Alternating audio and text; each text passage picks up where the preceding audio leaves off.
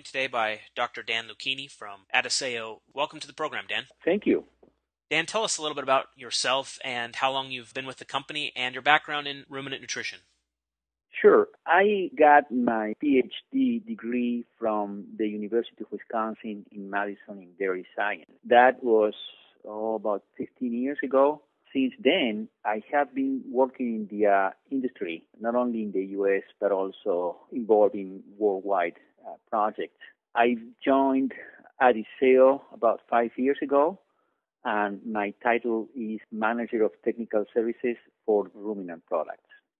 We wanted to talk today a little bit about amino acid balancing. Really, this practice has become a best practice among nutritionists. Why is that?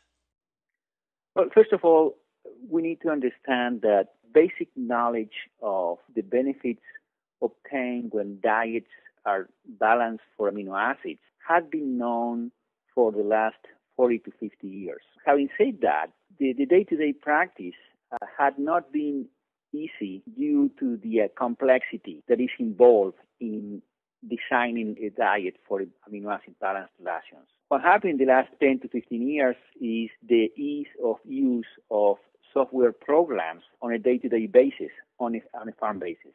That's one of the reasons why this practice is being put into uh, is being put into practice on a day-to-day basis. But also, we know that lysine and methionine had been the most limiting amino acids for the diets in North America.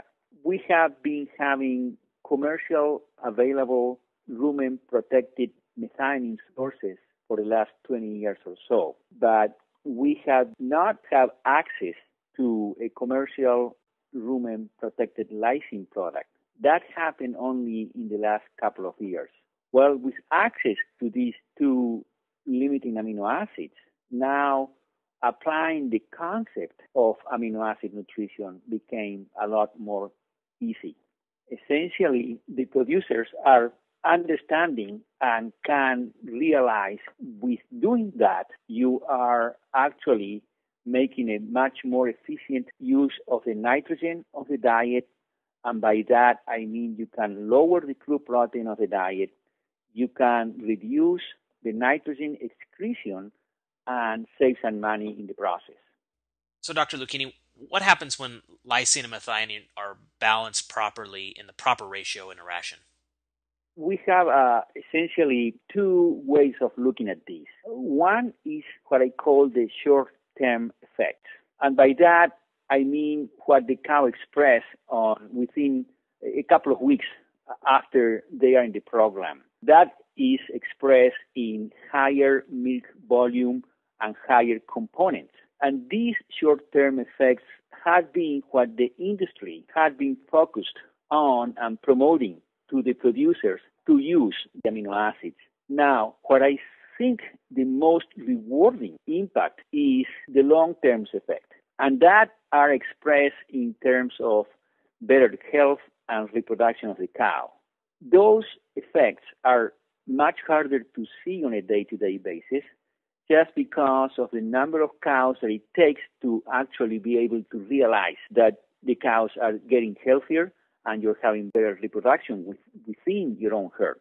Now, the combination of those two effects, the short-term effects, that is to say, higher meat volume and composition, and better health and reproduction, they do have an extremely attractive financial payoff for the producer. One of the reasons why I was most interested in speaking with you is to talk about the best ratio for lysine and methionine as those two sources of amino acids have become more targeted. Producers don't have as much fudge room in what they're feeding. What have we learned about the best ratio of lysine to methionine?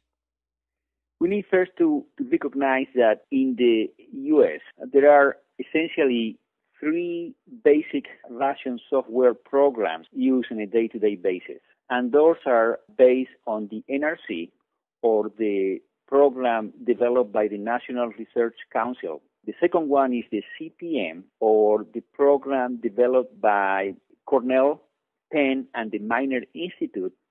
And the third one is they call the CNCPS, which is the Cornell Net Carbohydrate Protein System. Each one of these models has its own biology. and each has its own optimal ratio of lysine and methionine. That optimal ratio is between 285 and 295. And the important point out of this is that in order to maximize the efficiency of utilization of those amino acids, you need to aim at different lysine and methionine ratio depending on the model that you're using. Dr. Luchini, what do you see on dairy rations that you evaluate from dairies today? What is their ratio like? Too high, too low? Where does that usually fall? Uh, that's a good question. And, and independent of the model that you're using or the nutritionists are using, and independently of the area of the country that they are working on, that lysine to methionine ratio 99% of the times comes high.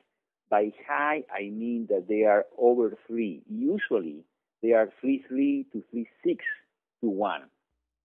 And what would that mean if your if your lysine methionine ratio is too high? What are you going to be missing out on, even if you were trying to do amino acid balancing?